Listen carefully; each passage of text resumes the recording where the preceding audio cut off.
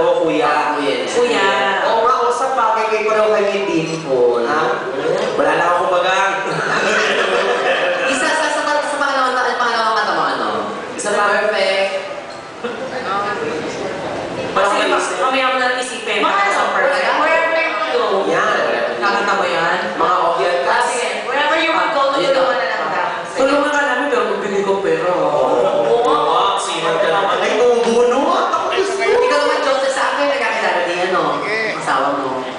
Sa kayo nagkakilala ni nung asawa? Sa dagat.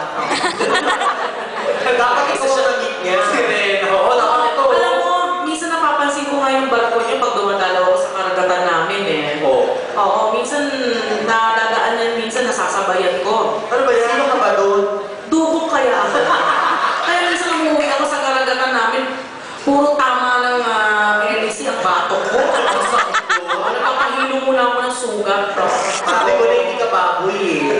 Tsaka pagsama umaam siya sa dagat. Isa kang baka. Kaya pala yung chan mo, puno-puno ng buto. Ay, sikaw.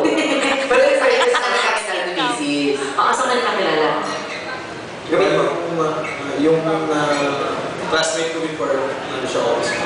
Ah, hindi kayo. Mas pwede nagkakita kayo ng class ko before, kasama siya. Some friends talaga. Gaano mo siya katagal niligawan? Oo. Correct. Oh, may pagsitungan lang Ang ako. sandali lang, kasi mukhang walang di ang baba.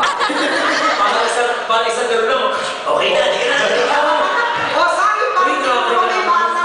Ah, dali, gaano mo siya katagal niligawan? Almost one. Almost, almost Kaya, Not bad.